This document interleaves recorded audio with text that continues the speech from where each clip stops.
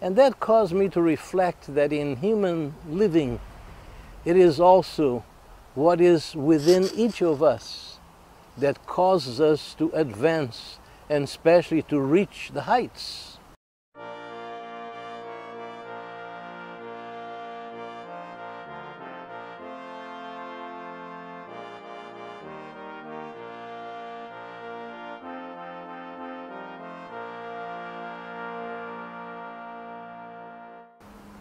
Hello, my friends. It's always a joy once a week to come to you via this medium that is so readily available to us. I could never do that on my own, but I have a good friend that so kindly stands week after week behind his camera, and he's the one recording these messages that keep coming to you with my hope and prayer that it will provide something unique, something to cause you to think, and then to act on what you think.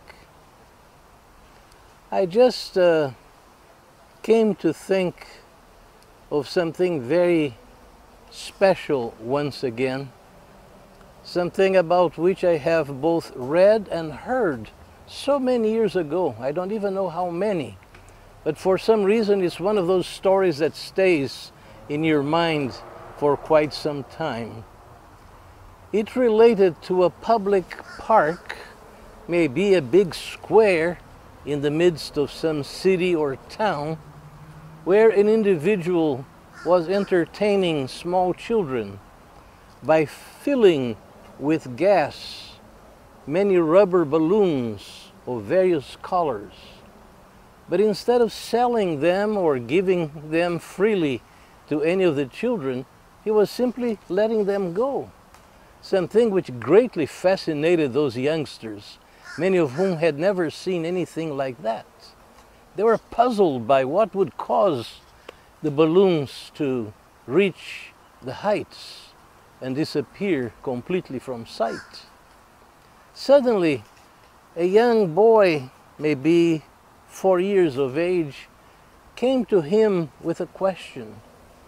He inquired, Sir, if you had a black balloon and filled with gas, would it be going up too? the man smiled and said, Of course, sonny. Absolutely. It is not the color that matters. Any balloon of any color will go up once filled with this gas which you see me put inside. It is what is inside that counts, not the color of the balloon. And that caused me to reflect that in human living, it is also what is within each of us that causes us to advance and especially to reach the heights and to be able to accomplish great things that will benefit others besides ourselves. I have a saying that some of you may or may not have heard me affirm at some point in one of these videos to the extent that while many people prefer the rat race, remember that we are all called upon to soar like eagles, to go as far high as we can go, because that's where we truly belong. There's a time to return to the earth and to accomplish our tasks here at this level as well. But we do not need to be confined to any position because God Himself puts within us the will to move forward, to advance, even to reach the heights. And I hope that this is your desire, regardless of age, regardless of your condition in life, because you have the human resources available to you to be able to advance and to go far and to achieve things beyond your imagination with the help that God is so ready, readily prepared to provide for you and to do through you.